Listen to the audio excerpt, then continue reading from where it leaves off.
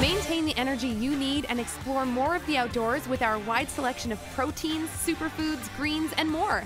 Head over to Healthy Planet today and find your pre and post workout.